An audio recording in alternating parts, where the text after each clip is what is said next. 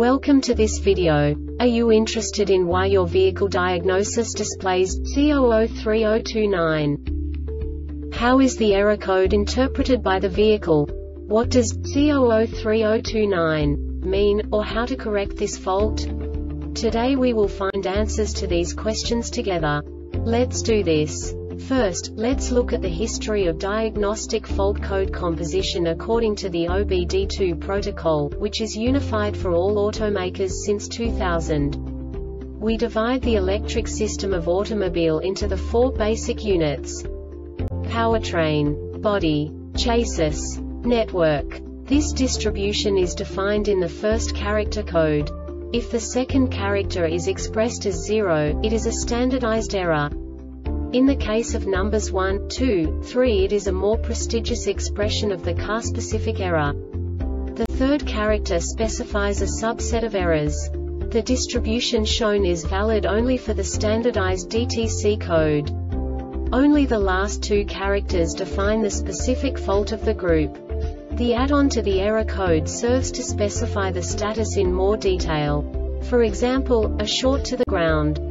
Let's not forget that such a division is valid only if the other character code is expressed by the number 0.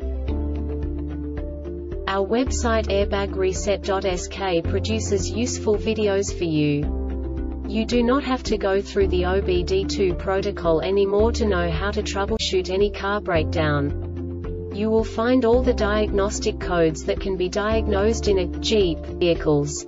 Also many other useful things.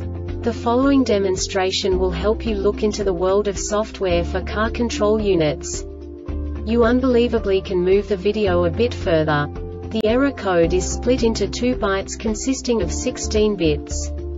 One bit is the basic unit that each computer works with. The bit has two logical states.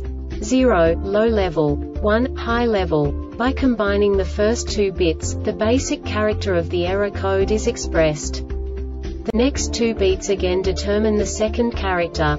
The last beat styles of the first byte define the third character of the code. The second byte is composed of a combination of 8 bits.